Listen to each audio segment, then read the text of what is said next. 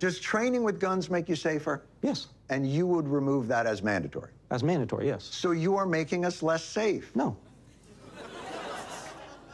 Are you familiar with logic?